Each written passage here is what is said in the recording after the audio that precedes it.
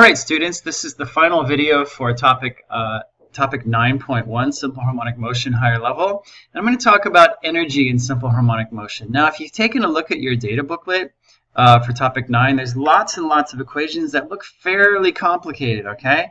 Um, we've obviously gone through all the trigonometric functions. Um, sine, cosine, depending on where uh, an oscillating object is at t equals zero. And what I'm going to do now is I'm going to talk about um, the concept of energy in simple harmonic motion. And in order to do this, we need to sort of remember what we what is meant by potential energy and um, kinetic energy. Those are really the only two kinds of energy that we're going to consider here. All right. Now, if you consider the case of a horizontal spring, uh, a frictionless tabletop, okay, um, that spring has, um, or that mass has basically two different kinds of energy associated with it. One of it, one of it, its energy is the kinetic energy, which is 1 half mv squared, and we're going to call this E sub k. The other has to do with the um, elastic potential energy stored in the spring. And we saw before that elastic potential energy is 1 half kx squared, okay? Now, because, um, because k um, is m times omega squared, uh, as we talked about before, we can also express that as 1 half m omega squared x squared, where omega is, as it was before, 2 pi over the period, okay? So therefore, the total energy of the system, if you remember back when we studied gravitational potential or gravitational potential energy and kinetic energy, we said the total energy of a falling object was the sum of those two. Similarly, in this case, we're going to call the total energy E sub t as um, the kinetic energy plus the elastic potential energy, and it's going to be something like this. Now, look how similar these equations appear, all right? Now, if we're assuming that energy is conserved and a frictionless tabletop, which is obviously unrealistic, but that's how that's a simplifying assumption that we make, um, then the energy is constant. And if it's released from rest when x equals a, okay, for example, so it's going to be released from this particular situation right here where it's pulled out in a positive direction, then 1 half kx squared plus 1 half mv squared is going to equal 1 half ka squared, right? Because initially, initially, this is all the energy that it has, right? Okay? All right. So if I solve for v, then I get this equation that I actually alluded to in the last video with that example when I said I'm going to explain that particular equation in the next video. Well, here it is, and this is actually given to you in the data booklet, okay? And again, don't forget that the maximum velocity of this um, oscillating mass is omega times a, okay? And that maximum velocity occurs when its displacement is zero as usual, okay? So you're not going to have to derive this uh, this equation, but um, you want to make sure that you know how to use it, okay? Okay, so again, considering the horizontal spring mass system, okay, we have this equation for V and this equation for the kinetic energy, okay, and um, kinetic energy, well, if I just square this term, I also get another version of kinetic energy as 1 half m omega squared times the quantity a squared minus x squared. Now, the maximum kinetic energy um, occurs at the bottom of its swing or at its maximum um, displacement, right? so, or sorry, minimum displacement. So this is also the total energy of the system. Okay, the total energy. Uh, you want to really simplify things, and you want to think about how the mathematics models um, sort of something happening in real life. Now, the IB data booklet gives you these three equations right here. Okay, so you see that all of these equations are different versions of what I've done here, with just the variables shown slightly differently. Again, notice their use of x naught um, instead of my use of A. I still think that capital A makes more sense because that's the amplitude and X naught um, basically suggests that that's the position, that that's the value of X at T equals zero, which it's not always, okay? Um, but just make sure that you can use all these equations as given to you by, by the IB in your data booklet, okay? Okay, now if we want to graph the energies involved in simple harmonic motion, remember uh, with, with a pendulum, it's a constantly give and take between the kinetic and the potential where the total energy stays the same, okay? We've seen this graph before and played around with the, with the PhET simulation, all right?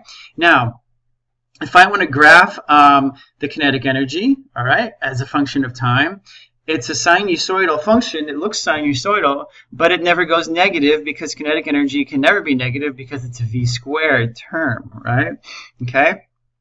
And in this case, I have that uh, v of t is negative v max times the sine omega t. So the graph of the kinetic energy against time is a sine squared uh, sine squared curve, okay, because of this, 1 half mv squared. And if I put v of t in for that v, uh, v squared, it's a sine squared curve, okay?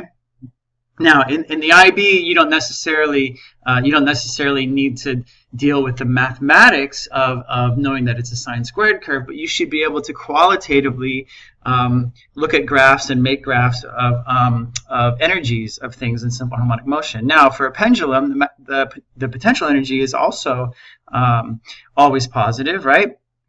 Starts off at a maximum and goes to zero like that. Okay, now since the elastic potential energy or the potential energy in general, okay, not just for springs, masses on springs, but also for pendulums, okay, turns out it's a cosine squared term uh, curve. Okay, it looks like that. So the only difference between a sine and a sine squared is that the sine squared is a little bit uh, it's narrower, right?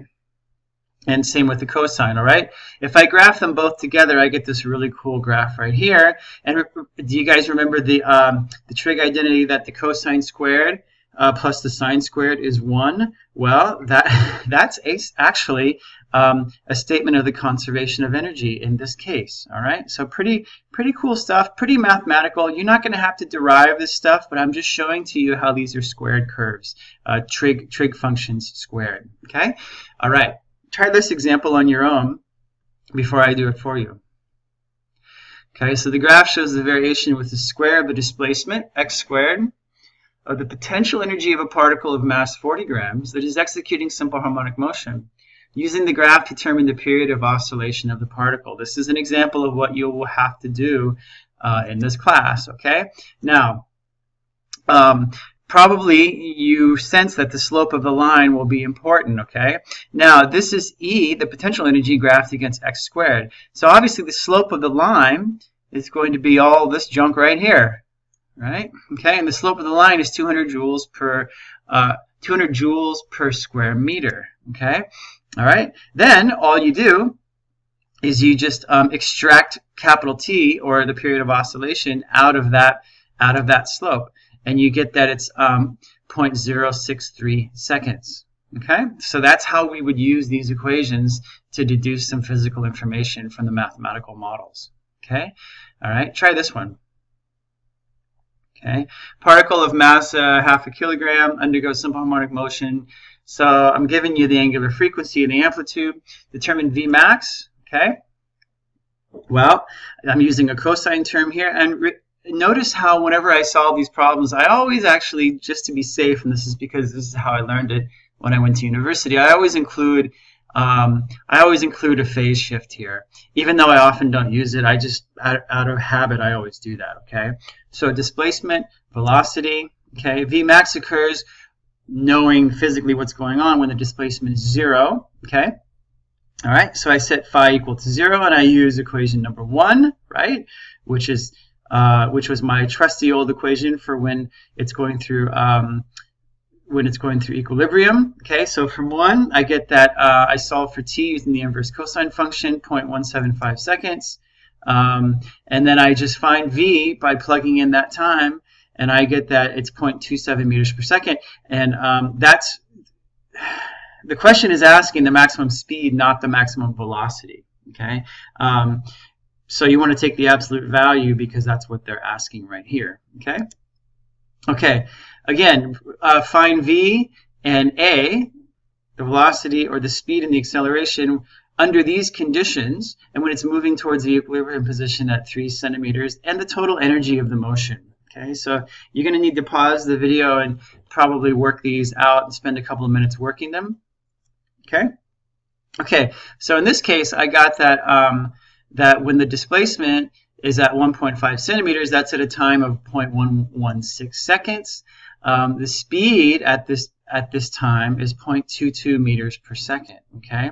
Now the acceleration then would be 1.22 meters per second squared. So make sure that you can follow my rationale with the mathematics. The total energy, okay, there's a couple of different ways to do this. I think the easiest way is to just do the 1 half m omega squared s max squared, and I got that it's 0.018 joules, which is not a lot of energy, um, but um, you know this is a fairly small object that's um, that has an angular frequency that's actually not that high.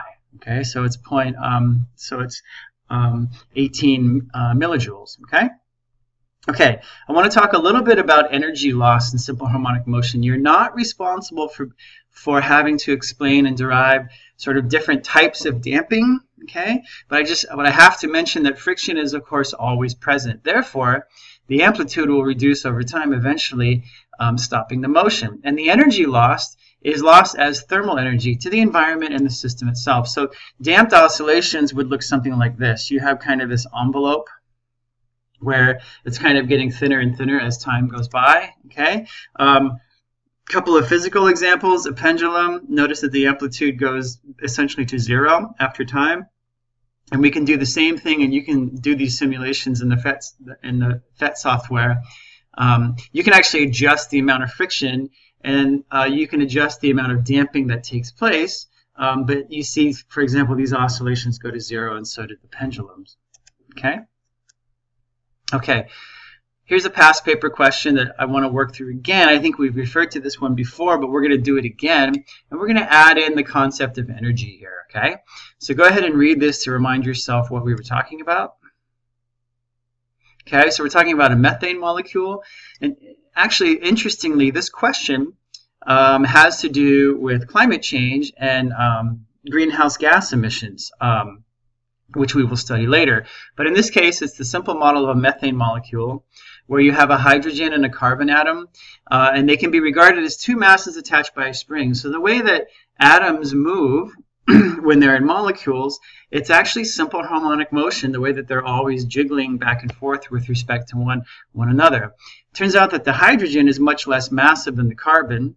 Uh, you should know that, even if you're not taking chemistry such that any displacement of the carbon atom can be ignored. The graph shows the variation with time t of the displacement x from its equilibrium position. Okay, okay. The mass of a hydrogen atom is 1.7 times 10 to the minus 27 kilograms. Using data from the graph above, determine the amplitude of its oscillation. Well, this is very simple. All you do is you just read the maximum value um, on the y-axis. And I got that it's clearly 1.5 times 10 to the minus 10 meters. Don't forget that you have this power of 10 associated there uh, with your units. That's really important. Okay? Okay. All right. Uh, show that the frequency of its oscillation is 9.1 times 10 to the 13 hertz. Okay. Well, all you do here is you need to figure out what the period is uh, from the graph, right? And the frequency is one over that. So you see, you, you know, these the questions that we ask you um, are really fairly basic. You're not going to have to derive any crazy stuff, okay? Part C, show that the maximum kinetic energy is 6.2 times 10 to the minus 8. Now, what I'm going to do here is I need to, I'm going to have to find the maximum um, the maximum speed, okay? And then what I can do is I can just put that, and this is one way to do it. This is not the only way. I put the maximum speed into my 1 half mv squared, and I got that at 6.2 times 10 to the minus 18 joules. Okay? All right. Another example dealing directly with energy, okay? this graph shows how the kinetic energy of a mass on a spring varies with the displacement x of the particle from equilibrium. Using the axes, or the graph in other words, sketch a graph to show how the potential energy varies with the displacement x.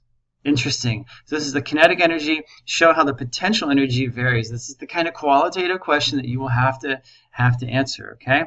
Well, if you remember back to the um, the problems that we did where we graphed the kinetic and gravitational potential of an of an object that's falling, um, say in free fall from the edge of a cliff, it wouldn't surprise you that the potential energy would be something like that. Remember that um, adding them both together equals 1, or it's a constant because sine squared plus cosine squared equals 1, okay? In part B, it's a little more quantitative. The mass of the particle is uh, 300 grams. Use data from the graph to show that the frequency of oscillation is 2 hertz, okay? Now, in this case, you find that the um, you find that Vmax, you can get this value of Vmax. And again, this is not the only way to do the problem. There's probably other ways to do it, okay? And then what you would do um, is you could, this is one way to do it, you could solve for omega and then extract F out of that omega to get that it's 2 hertz, okay? And that's how you do these kinds of problems.